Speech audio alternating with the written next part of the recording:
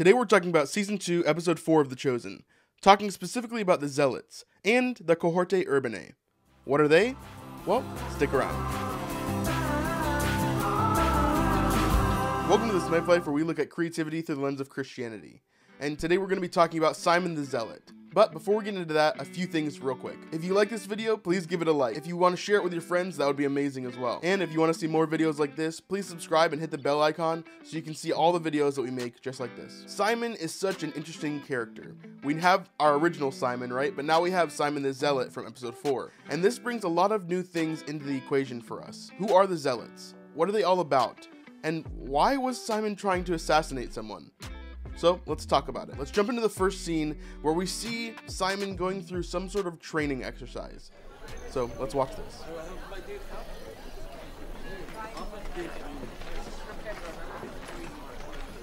What, six? What is this? No, no, I asked for eight. Because you don't know how to count. I asked for eight. Yes, six.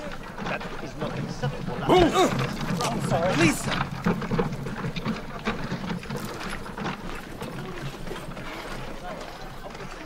Last time we have the same problem. I ask you for eight. No, no, you take this back and you bring me eight like I asked. No, eight.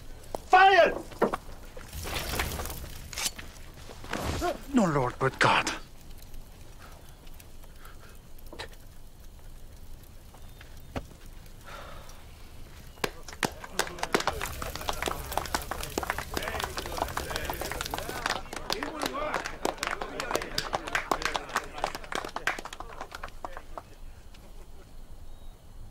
You ruined one of my cards. It did get his attention, Rabbi. You're very resourceful, Simon. That's it for today, Zealots. Come on, Simon, let's eat.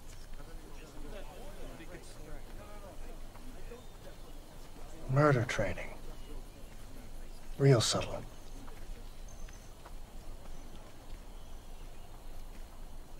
I'll be seeing you real soon, Simon. So in this scene, we're introduced to Simon the Zealot. And how do we know it's him?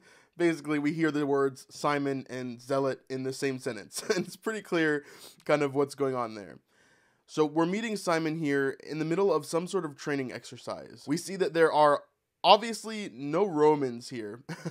we can tell that definitely by their skin tone and by the way that they're dressed. We do see that there are a couple of them dressed up in some sort of mock Roman uniforms, but you can tell pretty clearly by their skin tone and their facial features that they are not Romans. Simon has set up this elaborate plan in order to basically execute this magistrate. There's basically going to be a distraction from a burning cart, and then that will allow him to get access to the magistrate to be able to slit his throat. And at the end of the scene, we also see a man lying in the grass, kind of spying on the zealots. This is an interesting thing that we'll get to in a bit. So let's talk about the zealots for a second. The zealots are basically a political group that their main goal is to get rid of any occupation within the Jewish society. So Josephus, who is a Jewish historian back in Jesus' day, basically wrote about it this way that there are three sects of Jewish hierarchy. One is the Pharisees, who we've seen a lot of in this show, the Sadducees, who we have yet to see other than Nicodemus, and then finally the Essenes. Now, Josephus kind of adds a fourth sect to that, and he calls them the Zealots. Now, I'm sure not everybody of that day would include them as like a fourth sect, but they were a large group that eventually started many different conflicts, including a leading role in the first Jewish Roman war. Now, the group known as the Zealots had varying levels of aggressiveness. There were some that were just protesting the occupation and didn't believe that Romans should be in their society, but a lot of the Zealots went as far as taking violence into their own hands. Now, some of these were called the Sicarii, which is Latin for violent men or dagger men. And Simon may have just been one of these. We have no idea. But in this portrayal of Simon the Zealot, it does seem as if he is leaning more towards the violent side of things. There's no way to know for sure, but I'm sure that we'll find out more in the next few episodes. In this scene, we even see as Simon grabs the guy by the throat and says, No, Lord, but God. Kind of reiterating what the Zealots were all about. Their whole plan is to overthrow the Romans, get them out of their cities, and to finally be free of this occupation, because they truly believe that the only one that should be ruling them in any capacity is God. So after this scene, Simon's prowess is recognized, and the leaders of the Zealots are trying to make this plan in order to make the Jewish leaders look bad. Those like Caiaphas, who we know from scripture is one of the high priests. They come up with a plan to kill the magistrate of Jerusalem, whose name is Rufus. And of course, Simon, having all of his training, takes the mission and begins his journey to Jerusalem. So let's pick up there and start the scene.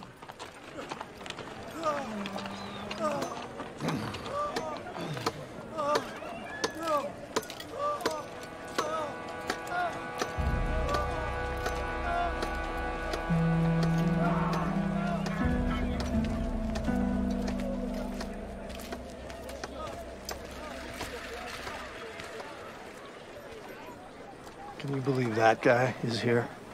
I saw him earlier. Who is that? That is a ghost of the Cohorte Urbanae. Secret police? More like marshals, elite soldier investigators. I heard the captain call him Atticus. Don't stare.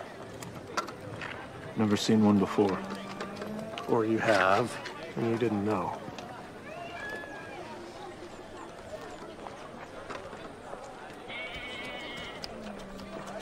Hello? What brings you to Jerusalem? Uh, the, the festival, the pilgrimage. You're a few days early.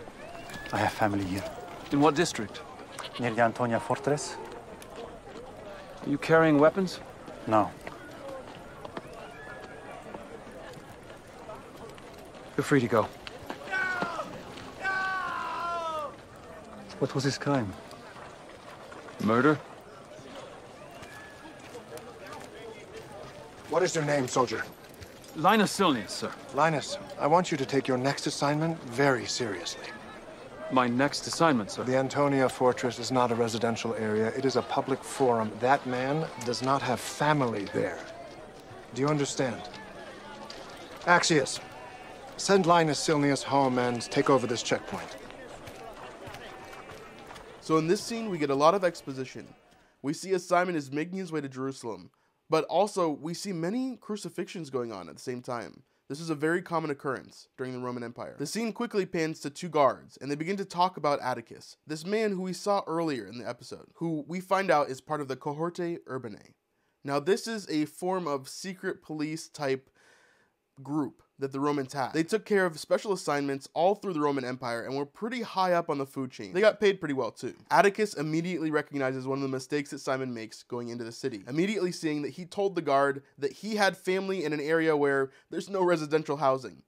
And so Atticus now knows Simon is definitely up to no good. So the Cohorte Urbanae mainly focused on being a force of non disturbance, if that makes sense. They were there to police the area and make sure that everything went smoothly for political factions, for different things throughout the Roman Empire. Now, while other groups policed the streets or fought fires, this group was more of a heavy duty police force to do things like crowd control for riots or to stop things like we see in this episode, like an assassination. So we see Atticus here as he's doing his job to the best of his ability. And we're going to see some more interaction with him and some other Romans. So let's get into that.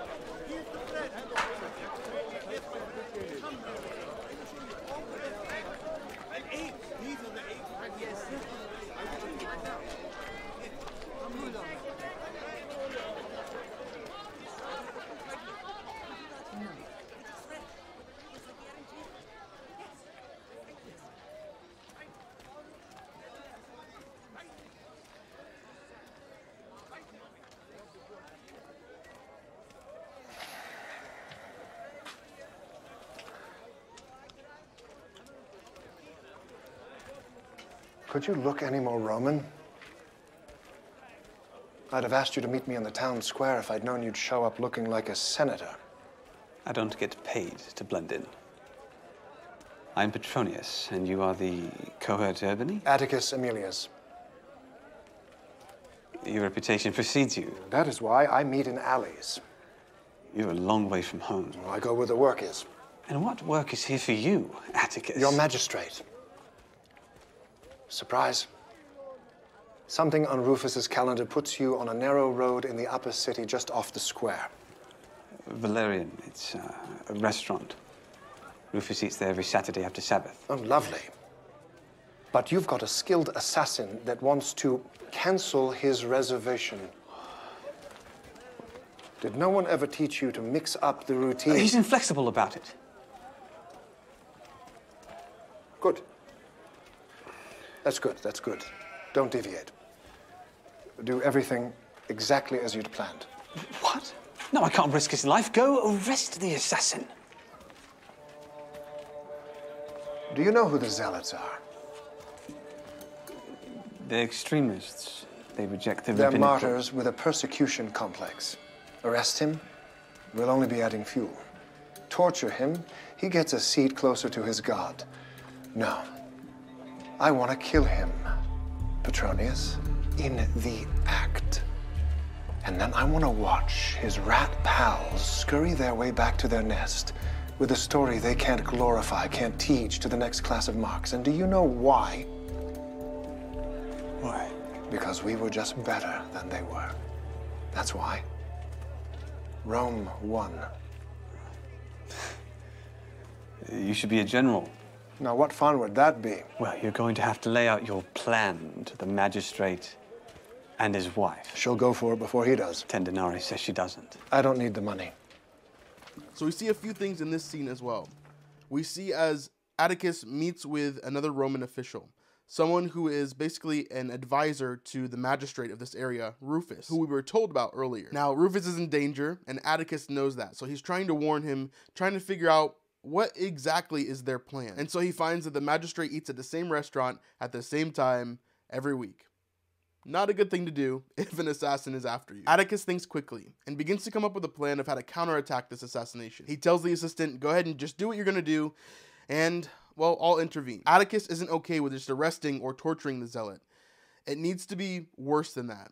It needs to be something where it shows that Rome is in control and that there is nothing that you can do about it. Remember, his job is not to just stop this assassination, but it's to stop things like this from happening in the future as well. So if he can just stop the assassination and kill the assassin in the act, it might persuade the others to stop and not do this again, not to attempt it again. So we have these two really interesting groups in front of us. We have the zealots, who on one hand are trying to purge Rome out of all the Jewish cities and make it so that God is in control of everything once again in their minds. But then we're also introduced to the cohorte urbanae on this side, who want to counteract that violence and make it so that the zealots can no longer do any harm to Rome. Atticus is a really cool character to me. He's obviously very intelligent and smart in the way that he does things, but he's also extremely ruthless. He wants to shut down the zealots with no mercy and no second chance. And we see as Simon is almost operating in this sunk cost fallacy. I've been doing this for so long. I've been a zealot for so long. This is who I am. I have to keep on going into this mission. I have to complete this goal. I have to get rid of the Romans. This is who I am. And even when he has his brother begging him not to, and even when he knows internally this is probably wrong, he still goes forth and he's completing this mission. So in the last scene of this episode, we do see as Simon tries to complete this mission, he executes his plan, and right as he's about to go and try to execute the magistrate, who Atticus has taken the place of, and Atticus is ready to counterattack as well, he sees his brother walking along the way, and it stops the whole thing. Atticus no longer gets to attack Simon, Simon no longer gets to try to kill the magistrate, and everything just kind of stops because of what Jesus did earlier.